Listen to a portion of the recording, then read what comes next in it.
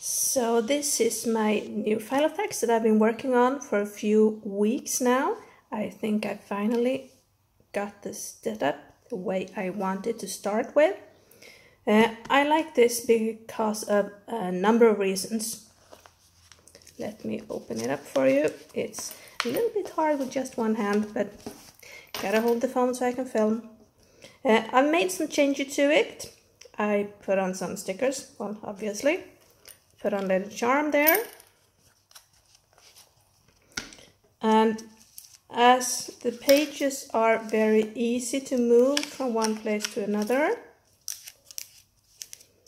uh, I needed some um, bookmarks. So I just made these very, okay, this was not expected. Very simple bookmarks. Uh, that makes it easier to see where I'm at. Gotta be a little bit careful with what pages I take out.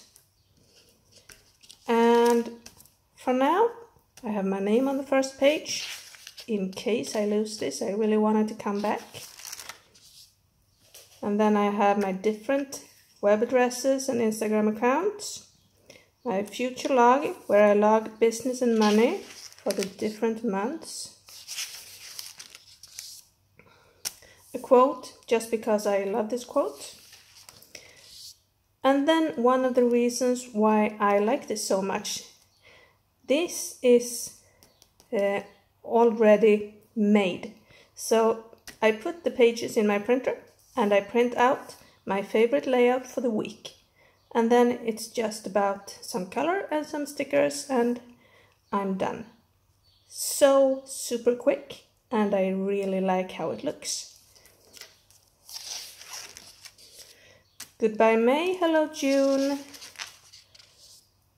And I made a master task list, a feel good list of tasks, uh, planning for my blog, Facebook and Instagram, business and money for this month, monthly layout, and back to my weekly. So this is the first week of June and let's see where that takes us. So I love two things about this. It's almost hardcover, which means it's really easy to write on, even if I'm sitting in the sofa or lying in bed or something.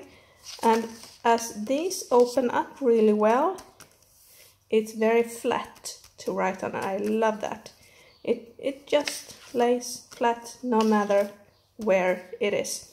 I have um, dividers for easy access, different kind of papers.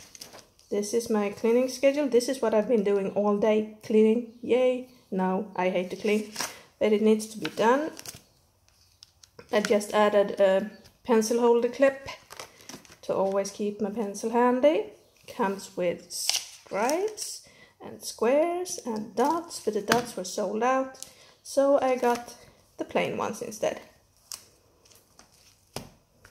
So I'm really pleased with this so far, and let's see how long I stick with this, or if I decide I want to try something else entirely.